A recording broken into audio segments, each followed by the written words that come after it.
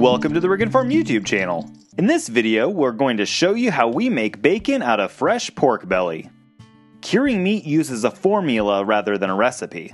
Curing salt number 1, also known as pink salt, Instacure number 1, Prague powder number 1, or sodium nitrite, makes up a quarter of a percent of the weight of the meat, and salt is 2.5% of the total weight of the meat. Our piece of pork belly miraculously weighed a 1,000 grams, so the math was super simple. In the past, sodium nitrite had a bad reputation. Many scientific studies have not only proven that it's safe, but it's actually essential to prevent botulism and many other foodborne pathogens in our food supply. There's so little of it used in this batch of bacon. Take a look for yourself. After unnecessarily transferring it into a different bowl, we weighed out 25 grams of kosher salt. 12.5 grams of dark brown sugar was added for a little sweetness. Aside from the curing salt and regular salt, you can add whatever additional ingredients you want in any quantity as long as they don't contain salt. Once your cure has been blended, sprinkle about half onto one side of the belly and massage it into the meat. Flip it over and add most of the remaining cure and rub it into that side. Use the rest to coat the sides, and make sure you get all of that cure that fell onto your work surface. For best results, vacuum seal your meat. You can use a zip top bag and remove as much air as possible if that's your only option. It's important that any liquid that comes out during the curing process makes constant contact with the meat. Now that it's sealed, we'll put it in the fridge for a week. Every day, we'll flip it over to ensure the cure penetrates both sides evenly. On the seventh day, pull out your fully cured bacon and bring it to the sink. Take it out of the bag and thoroughly rinse the bacon with cold water. You can also submerge it for 30 minutes if you don't want your bacon to be very salty. Make sure you pat it dry with paper towels when you pull it out of the water. Technically, this bacon is ready to slice, fry, and enjoy, but we're going to smoke our bacon to add flavor and bring it to a temperature that makes it 100% safe to consume. To prep it for the smoker, put it on a wire rack over a sheet tray and into the fridge for at least 4 hours, but overnight is preferable. The next day, get your smoker set to 180 degrees Fahrenheit or 82 degrees Celsius. We used our Traeger pellet grill to ensure a consistent smoking temperature throughout the cook without having to mess with dampers and airflow on our Kamado charcoal grill. We decided to take full advantage of the smoke that'll be trapped in the grill to cook a piece of fresh pork belly for dinner that night. We used the built in thermometer on the Traeger to temp the bacon and our Meater wireless thermometer on the pork belly. With the bacon, you don't want to put the probe in this way.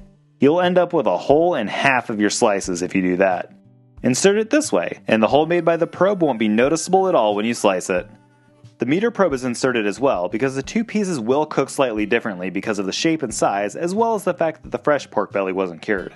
Don't forget to turn on super smoke mode if you have it. We placed the meats on the top rack to keep them away from the heat source at the bottom, and because we put a pan of baked beans under the pork belly later in the day to catch all of those delicious drippings. The Meater wireless thermometer is awesome. You use your smartphone or tablet to input the type of meat you're cooking and the target internal temperature. It also keeps up with the temperature of your grill or oven and uses the data to give you an estimated time it will be finished. Check out the link in the video description below if you're interested in getting this incredible tool. We love ours and use it all the time. Although the Meater probe was in the fresh pork belly, it gave us a close approximation of what the bacon temperature was. Our target for the bacon is 150 degrees Fahrenheit or 66 degrees Celsius. After 2 hours and 45 minutes, we went outside to check on the internal temperature of the bacon. A few degrees over isn't a big deal. You're next, piggies! Yum! This smelled incredible. Remove the bacon from the smoker and put it onto a tray to bring inside to cool down. It would have cooled faster outside on this cold January afternoon, but that's not the safest place to keep bacon unattended, especially if you have hungry neighbors. Time to turn off super smoke and crank the temperature up to 275. Once the bacon is cooled down to about 80 degrees, wrap it tightly with plastic wrap and put it into the fridge until it's completely cooled. Whenever you're almost ready for bacon, put it in the freezer for about an hour to firm up a little. That will make it much easier to slice. The best way to get even slices is with a deli slicer. We don't have one, and you probably don't either. We use our Victorinox slicing knife. This is the perfect knife for getting beautiful slices of bacon or any other meat that you might want to carve without having unsightly hack marks. You want to make long, even strokes without lifting the knife until completing the cut. We started off by cutting some super thick slices, and then we switched over to some thinner slices that are close to a standard thick cut bacon you'd find at the store. Looks pretty good, doesn't it? You can always cut off some of the top layer of fat at the very beginning of this process before weighing and formulating the cure amount for a leaner end product. But if you're that concerned about your caloric intake, why are you even eating bacon? After we sliced it, we put it on the scale to see what kind of weight loss the bacon had from the curing and smoking process. It's a little hard to see here, but it was 959 grams. That's a 95.9% yield, and 100% delicious. Now we have 2 pounds and 2 ounces of bacon. We couldn't eat it all that night. Well, we could have, but we vacuum sealed a few portions to stick in the freezer for later. The bacon would easily stay good for a week in the refrigerator. We had breakfast for dinner that night and started a few strips and some of the end pieces in a cold cast iron skillet over medium heat. Once some of the fat started rendering out, we flipped it regularly until it was crispy on both sides. Apparently, I didn't clean the skillet very well after the last time it was used, so we ended up with some little crispy bits on the bacon. It still tasted amazing despite its visual flaws. We have some pigs that will be ready to butcher soon, and we plan on making a lot more bacon.